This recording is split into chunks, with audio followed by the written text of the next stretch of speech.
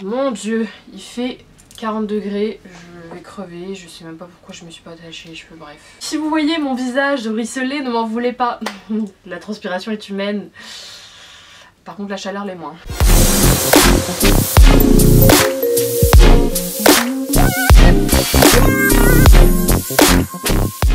Coucou tout le monde c'est Cocoliner, back sur YouTube, j'espère que vous allez bien, moi ça va. Ça fait bizarre de filmer, j'avoue qu'en ce moment je filme un peu moins qu'avant, je pense que vous avez dû le voir, mais je suis très contente de filmer aujourd'hui. La santé et la motivation sont pas trop présentes en ce moment, mais j'essaie quand même de continuer parce que c'est toujours autant un plaisir que de filmer. Je sais que ça me remonte le moral et qu'à la fin d'une vidéo, je suis grave déter, que j'ai envie de la monter, que j'ai envie de la poster et surtout bah, que je kiffe faire ça. Donc évidemment, ça ne s'arrête pas là. Et du coup, je suis grave contente aujourd'hui de vous retrouver dans une nouvelle vidéo. Avant de vous dire de quoi va parler la vidéo, même si je pense que vous l'avez vu dans le titre, je vous invite à me suivre sur mon Instagram où je suis très active, ça me ferait plaisir, ainsi que d'aller voir mon compte Instagram professionnel où je fais de la photo un peu pro, où je fais des portraits, tout ça, tout ça, et que je kiffe. Du coup, aujourd'hui on se retrouve pour une vidéo qui me tient à cœur encore une fois. Je vous avais dit que durant l'année 2020, je vous avais dit que j'allais faire des vidéos qui me tenaient parfois un petit peu plus à cœur, qui allaient peut-être aller un petit peu au-delà de ce que je fais d'habitude, donc des sujets un peu profonds ou des questionnements, des trucs un peu de la vie. Je vous avais déjà fait une vidéo, donc la première vidéo sur ce sujet, c'était une vidéo sur le féminisme que je vous invite à aller voir avant celle-ci même si vous ne l'avez pas vue parce que vraiment c'est une vidéo qui me tient à cœur.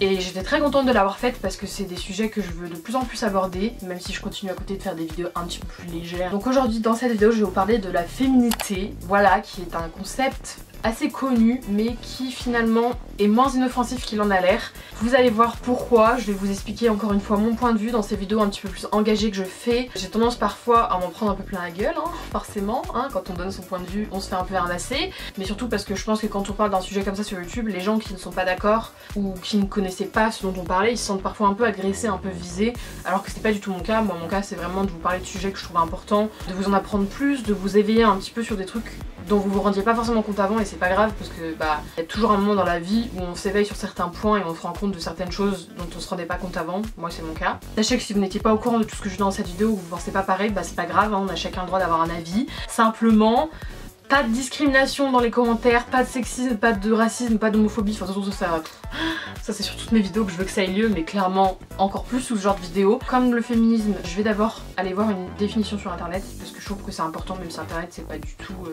la référence de tout, c'est quand même important de voir quelle base on a sur cette plateforme. Et ensuite je vais vous donner ma définition de ce que j'en pense, pourquoi est-ce que ce mot qui paraît assez simple, voilà la féminité, bah pourquoi en fait est-ce qu'il soulève plein de problèmes, plein de stéréotypes. Et finalement on va en parler un petit peu ensemble. Il est vrai que parfois quand je parle de ce genre de sujet, il des gens qui me disent mais tu poses trop de questions, genre tu vas trop loin. Moi c'est ma problématique, c'est j'ai envie d'aller loin, genre euh, c'est comme ça que je suis, c'est ce que je fais très souvent. Je me pose déjà beaucoup de questions, mais en plus de ça j'aime aller loin dans les propos et je me rends compte de plein de choses petit à petit dans ma vie. Voilà, maintenant j'ai 19 ans et c'est vrai que ça fait des années que je me pose plein de questions sur tout, que je trouve du sexisme de partout, clairement, là où je pensais même pas qu'il y en avait. Je sais qu'il y a des fois des gens ça les saoule en mode laisse un peu les choses euh, comme elles sont, mais moi j'ai pas envie. Donc sans vouloir dire que j'ai révolutionné le monde, j'aime bien parler de sujets que je trouve importants et qui me semblent être importants à questionner surtout.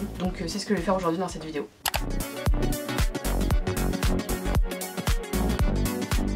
Allez, on va sur Google. Alors la première définition Wikipédia qu'on a de la féminité, c'est l'ensemble des caractères morphologiques, psychologiques et comportementaux spécifiques ou considérés comme spécifiques aux femmes. Ils sont liés au sexe ou au genre et fortement influencés, voire conditionnés par l'environnement socioculturel. Donc déjà on parle de la féminité comme étant les caractères morphologiques, psychologiques, comportementaux spécifiques aux femmes. Donc tout ce qui a trait finalement au physique, à notre comportement, à notre attitude, soit. Mais la phrase que j'aime bien quand même dans cette définition qui sauve un peu tout, c'est la phrase fortement influencée voire conditionnée par l'environnement socio-culturel. Parce qu'on est bien d'accord que la féminité c'est pas un truc qui coule de source. Dites-vous bien que la féminité c'est ce que c'est parce que la société l'a conditionnée comme telle. Je veux dire, la féminité de base, c'est pas un propos comme ça qui émane du ciel et qui tombe comme ça et en fait on se dit bah c'est la vérité générale. Non, non, c'est juste que la société en a fait. Ce qui est compliqué, c'est que dans cette définition-là, on parle de féminité comme étant tout ce qui est attrait aux femmes alors qu'en fait aujourd'hui, la féminité ça a bien plus de stéréotypes qu'on penserait et ça engendre plein de clichés et plein de trucs que je n'apprécie vraiment pas. C'est pour ça que je voulais vous montrer une deuxième définition qui me semble bien plus correcte. La féminité c'est l'ensemble de caractères stéréotypés correspondant à l'image sociale traditionnelle des femmes. Le contraire étant virilité, dont on parlera un petit peu aussi. Mais forcément j'avais surtout envie de parler de féminité aujourd'hui parce que je suis une femme et parce que encore une fois on va quand même pas se mentir, ce genre de stéréotypes ils attaquent plus les femmes que les hommes. Même si les hommes, on ne les ménage pas non plus, je suis bien d'accord. Ce qui me plaît plus dans cette définition, et d'ailleurs dans la deuxième phrase aussi de la définition d'avant, c'est qu'ils expliquent clairement que la féminité c'est un ensemble de caractères stéréotypés qui correspondent à une image de la femme et pas qui correspond aux femmes. Donc on comprend bien déjà qu'il y a une histoire d'image sociale, donc qui vient de la société. En fait on sent que ce mot il a été un petit peu réinterprété à sa sauce au fil des années. Il est un petit peu problématique ce mot et moi je sais que j'aime plus l'entendre. La féminité c'est un truc qui m'énerve et on va en parler tout de suite. Là d'abord je voulais juste poser les bases avec des définitions internet mais je me vois pas trop en fait aller à l'encontre des définitions que je vois parce que j'ai envie de dire que je suis personne pour faire ça. Donc je voulais au moins que vous voyez les définitions et après que je vous parle de moi ma définition de la féminité. On voit que la féminité c'est ce qu'ils disent mais bon, j'ai voulu taper sur internet la pire des choses à faire. Après, je ne juge pas ceux qui la font évidemment quand on est jeune. En plus, une jeune fille, je parle là pour la féminité, on se cherche donc forcément on va taper ce genre de trucs. Mais bon, je me suis mise dans la peau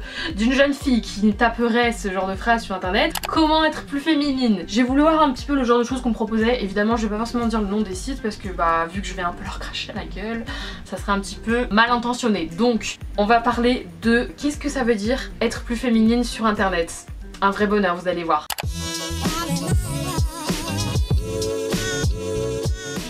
Donc être plus féminine, ça comporte plein d'étapes pour une femme, comme par exemple se pomponner. Évidemment, on sait que c'est la tâche principale des femmes dans la vie.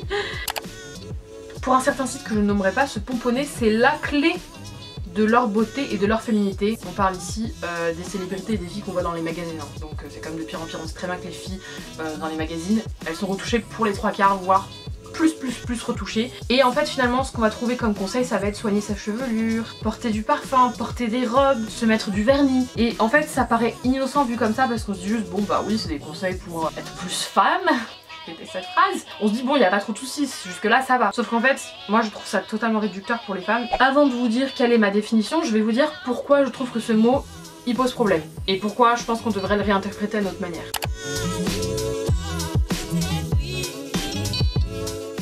Moi je trouve que la féminité ça pose problème parce qu'en fait on voit partout que à partir du moment où tu es une femme, tu dois être féminine, sous-entendant donc que tu dois prendre soin de toi, porter du maquillage, avoir des coiffures, porter des robes, porter des jupes, te mettre du vernis. On se sent avec une pression de la société obligée de ressembler à ces critères de la féminité quand on est une femme.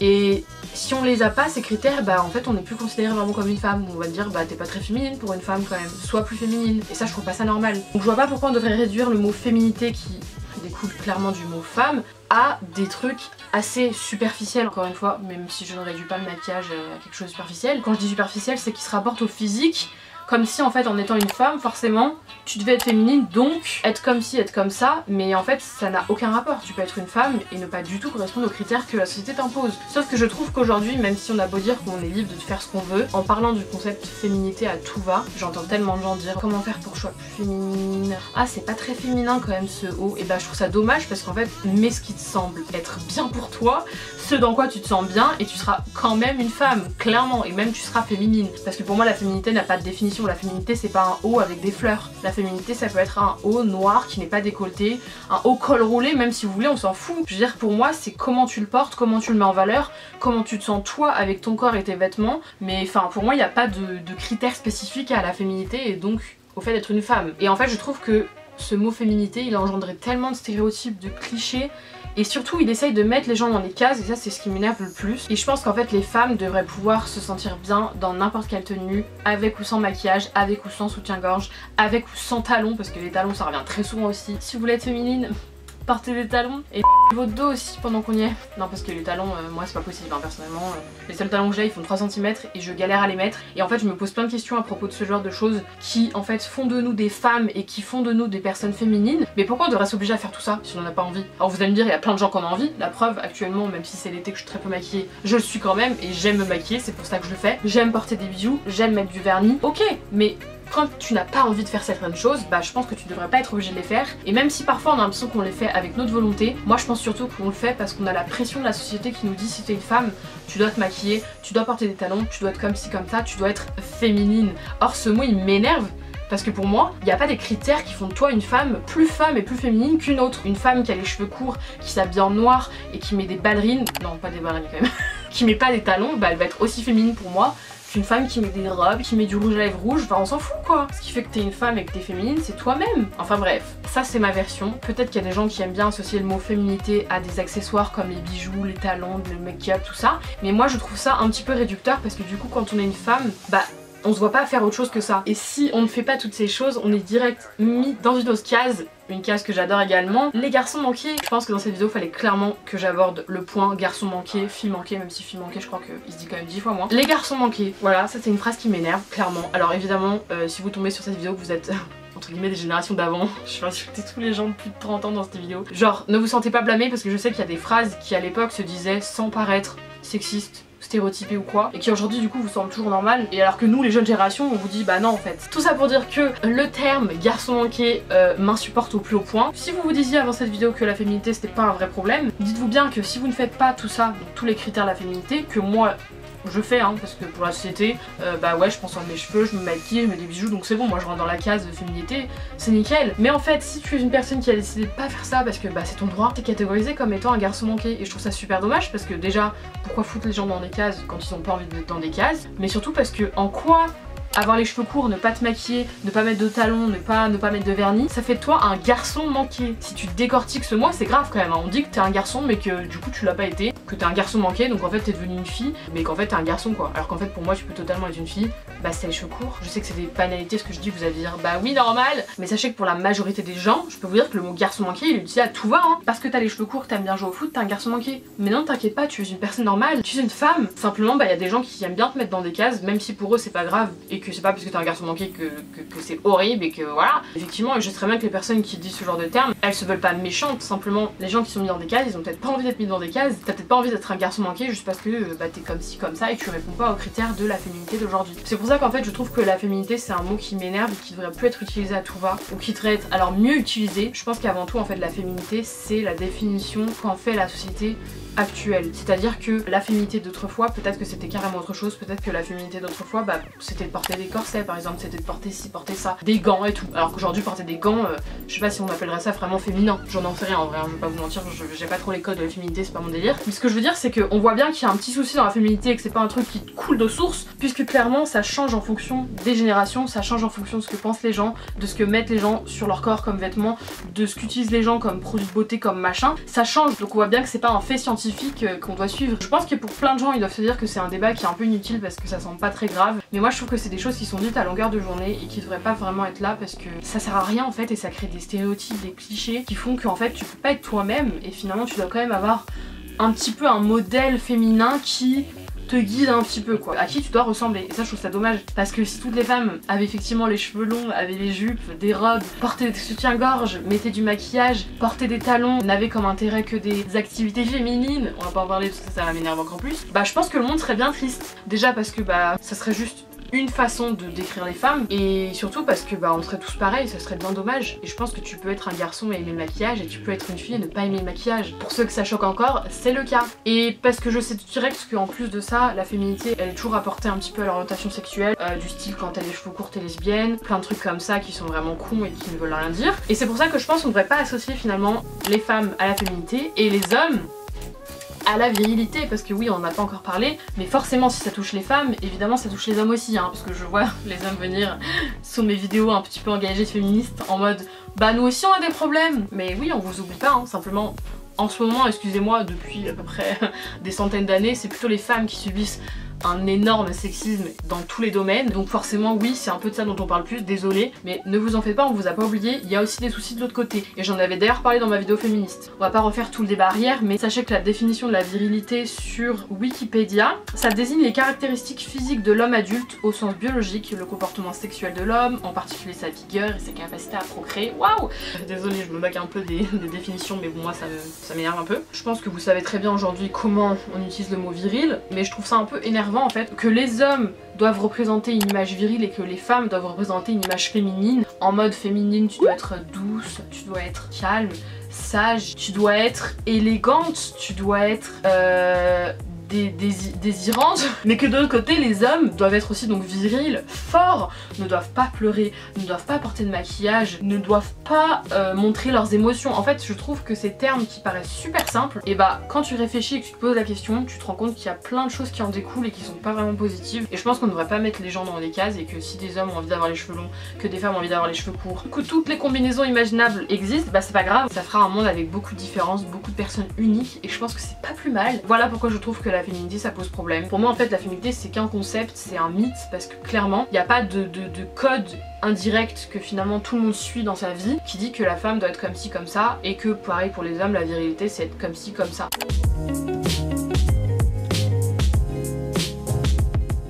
En tout cas voilà c'était un débat assez long mais tout ça pour dire que je pense que la féminité selon moi, ma propre définition ce serait tout simplement d'être heureuse d'être une femme parce que je pense qu'il y a aussi beaucoup de cas où certaines personnes ne sont pas nées dans le bon coir entre guillemets, d'où les personnes trans, tout ça et tout mais je m'y connais pas trop là-dedans donc je vais pas rentrer dans les débats. Mais je pense qu'avant tout la féminité, ce qu'on pourrait appeler la féminité aujourd'hui si on veut encore utiliser ce mot, ça serait tout simplement d'être heureuse d'être une femme, de porter les choses qui nous plaisent, de faire les choses qui nous plaisent également de se sentir bien dans son corps, d'avoir confiance en soi et de dégager quelque chose tout simplement de positif par rapport à soi-même. Et pour moi, il n'y a aucun critère physique, corporel ou quoi que ce soit à voir euh, quand t'es une femme ou quand t'es un homme en fait. Pour moi tu fais juste ce qui te plaît, en te sentant bien avec toi-même et que tu te soucies pas autant du regard des autres qu'avant, bah là tu reflèteras la meilleure féminité de toi-même que t'auras jamais reflété. Si encore une fois vous voulez vraiment utiliser le mot féminité. Enfin bref, pour terminer cette vidéo, je pense que si vous voulez continuer d'utiliser le mot féminité ou virilité, quoi que virilité je pense qu'il pose encore plus de problème, je pense que vous devriez les réinterpréter ces mots et vous dire que la féminité c'est pas quelque chose euh, qui a des critères euh, acté, clairement. Comme je vous l'ai dit, en plus, je pense qu'ils ont grave changé au fur et à mesure des générations, donc on voit bien que c'est pas un truc clair et net. Vous devriez utiliser ce mot-là pour vous dire bah, que vous devez avant tout être vous-même et que vous ne devez pas vous fier à toutes les normes de la société, que vous faites ce que vous voulez et que vous êtes belle comme vous êtes. Faut juste se sentir bien avec soi-même, quoi. Je pense que c'est le plus important. Et c'est pas facile déjà. Je pense qu'il faut de longues années pour se sentir bien avec soi-même. Euh, moi, j'y suis pas encore arrivée. J'espère être en chemin. Et bah écoutez les gars, j'ai envie de vous dire que vous allez être dans votre corps toute la vie, donc autant l'accepter et autant faire ce que vous avez envie quand vous en avez envie et je pense que tu peux être féminine comme tu le souhaites. Je préfère y aller comme je sens pour ce type de vidéo et du coup bah j'espère que c'était pas trop ressenti que parfois j'y allais quand même comme je le sentais. J'espère encore une fois que cette vidéo ne va blesser personne mais qu'elle va au contraire vous aider. J'espère que cette vidéo vous a plu. Si vous avez d'autres sujets que vous voulez que j'aborde, que ce soit féminisme ou autre, hein, n'hésitez pas à me dire tout ça dans les commentaires. N'hésitez pas à liker cette vidéo si elle vous a plu. N'hésitez pas non plus à vous abonner, ça me ferait très plaisir. Quant à moi je vous fais plein de bisous et je vous dis à très bientôt pour une prochaine vidéo. Bisous.